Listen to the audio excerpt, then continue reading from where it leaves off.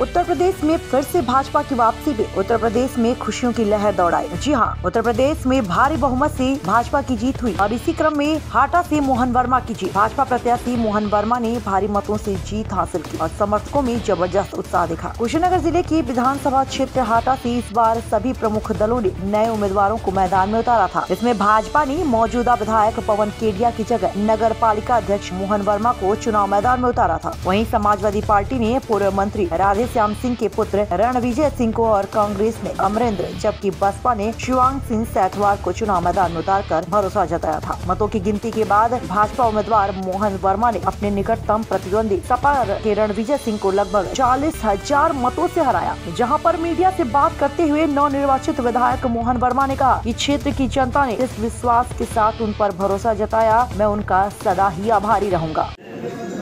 सबसे पहले मैं शीर्ष नेतृत्व को माननीय मोदी जी, माननीय योगी जी, माननीय प्रदेश अध्यक्ष जी, माननीय बंसल जी, माननीय क्षेत्रीय अध्यक्ष, माननीय जिला अध्यक्ष जी को धन्यवाद देना चाहता हूँ।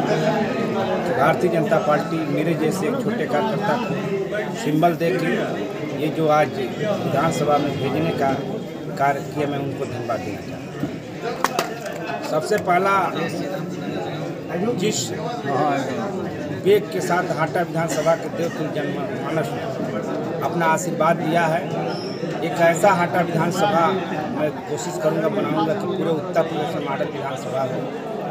और जो कर्ज के रूप में हमको इतने वोट मिले हैं, ये कर्ज मैं बनिया का लड़का हूँ, ब्याज सहित वापस।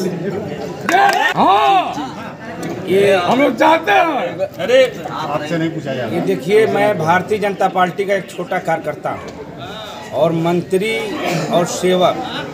हमें जो विधायक पद मिला है वो भी स्वीकार है। अगर शीर्ष नेतृत्व हमें मंत्री भी बनाएगा वो भी आटा जनमानस के जो सेवा भाव से मैं उतरूँगा और सेवा ही करूँगा। हमें कोई वो ख्वाहिश नहीं है कि मैं मंत्री ही बनूँ। अजय तिवारी कुशीनगर आर नाइन भारत की खास रिपोर्ट।